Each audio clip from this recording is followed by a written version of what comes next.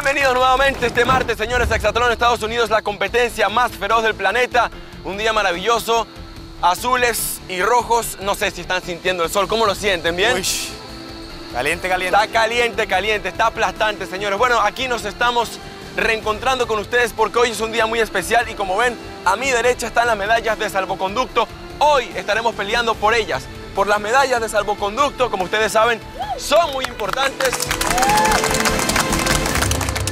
Circuito que ustedes, fanáticos de Exatlón Estados Unidos, ya conocen.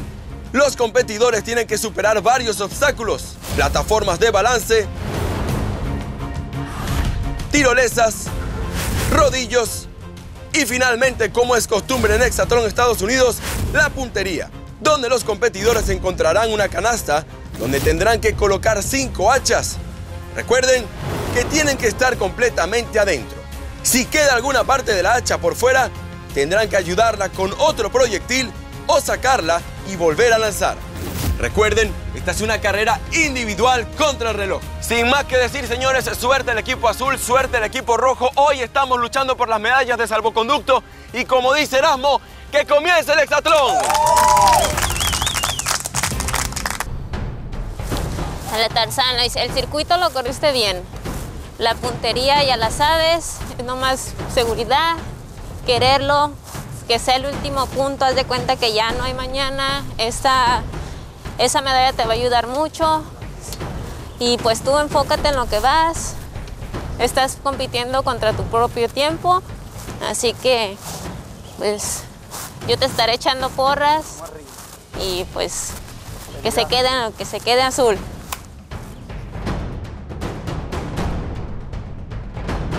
Momento para el otro participante del equipo de los contendientes, Elías Tirado, que busca su segunda medalla de salvoconducto. ¡Listo, Elías! ¡Tres, dos, uno! Recuerden que los dos participantes que quedan por cruzar este circuito, en este momento Elías es uno y el otro es Nate, registraron menos de un minuto en la primera fase. Si quieren superar a Chuy Almada, lo mejor que podrían hacer es repetir lo que hicieron en la primera fase, es decir, registrar un tiempo menor a un minuto. Señores, recuerden, si usted quiere tener más información acerca de Exatlón Estados Unidos, la cuarta temporada, puede ir a telemundo.com, diagonal Exatlón, o descargar la aplicación de Telemundo e ingresar a Exatlón y ahí va a conseguir toda la información que usted necesita. Algo extra, señores, para saber más de la cuarta temporada que usted disfruta a través de la pantalla de Telemundo. Llegan 44 segundos el Tarzán Boricua a la zona de la puntería y ya comienza a lanzar las hachas. Introduce la primera, la segunda también, el de Barranquitas, Puerto Rico, la tercera, la cuarta le queda una al Tarzán Boricua. Va por el registro y lo hace, señores. Impresionante lo de Elías Tirado. 59 segundos 96 y se convierte hasta los momentos en esta final en el mejor tiempo. Le quedan 4 segundos a Neighbor Hunter. Se le va a acabar el tiempo. Le queda un hacha y se frena el reloj. Intentó última hacha. Señores, Elías Tirado se queda con la medalla de salvoconducto y así culminamos este circuito en la batalla por las medallas de salvoconducto.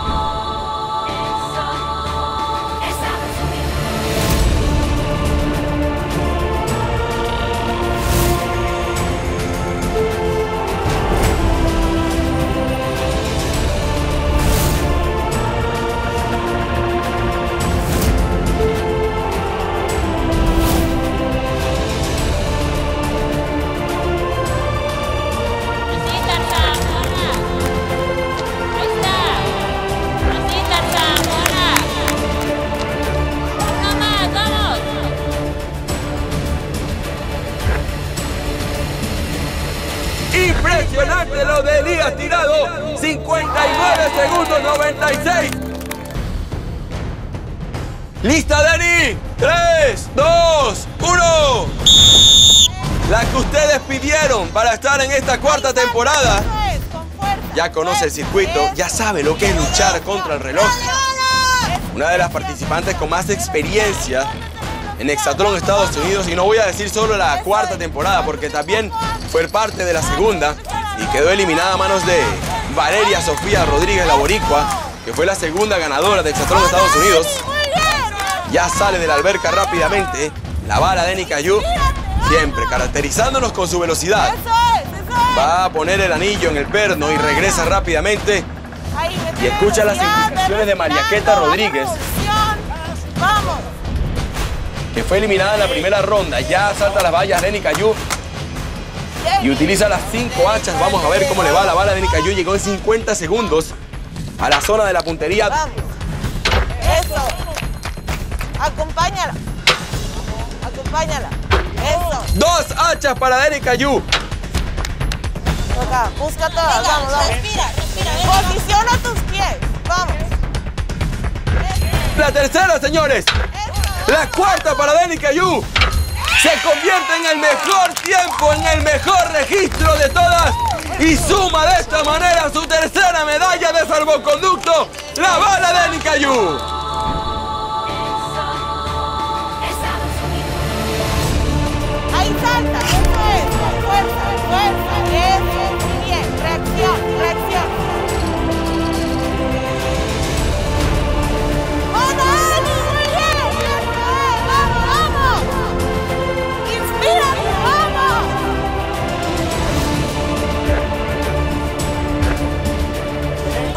Posiciona tus pies.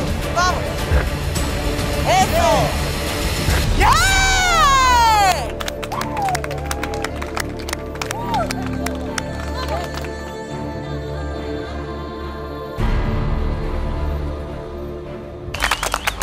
Aplausos, señores. Un aplauso para todos porque hicieron un esfuerzo titánico el día de hoy en esta lucha por las medallas de salvoconducto. Y como ustedes saben, los ganadores de estas medallas de salvoconducto están en el equipo azul, en el equipo de los contendientes.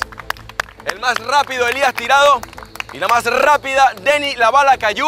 Voy a comenzar con Elías. Elías, tu segunda medalla de salvoconducto.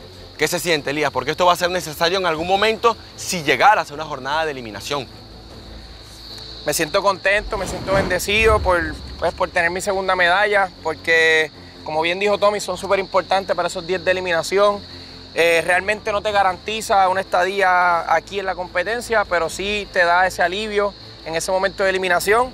Y pues realmente también es una competencia en la que estás arriba y abajo, como dice Yami, en una montaña rusa. Y este es mi momento de estar arriba, me lo quiero disfrutar y cuando está abajo quiero mantenerme de pie. Así que le quiero dedicar esta medalla a mi mamá, a mi pueblo de Barranquitas, Puerto Rico y a Puerto Rico. Voy a seguir echándole ganas para seguir ganando más medallas aquí. Y el saludo Barranquita, señores, allá en Puerto Rico, a todos los fanáticos de Hexatlón Estados Unidos. Ahora tengo que hablar con la bala de Nicayu.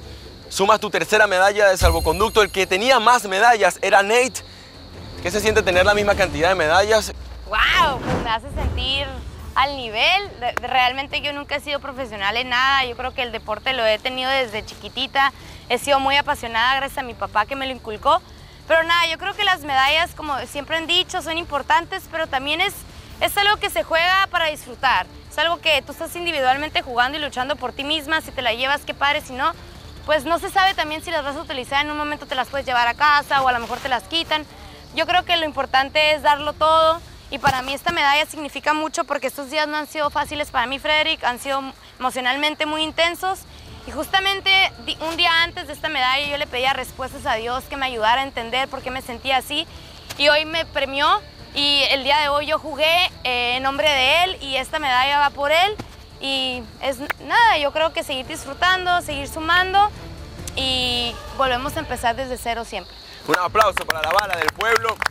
Aficionados del Exatlón, no olviden suscribirse a nuestro canal de YouTube aquí abajo y si quieren revisar más contenido y más videos, aquí y aquí los van a encontrar. Recuerden, Exatlón Estados Unidos, de lunes a viernes 7, 6 centro por Telemundo y los domingos de eliminación a la misma hora.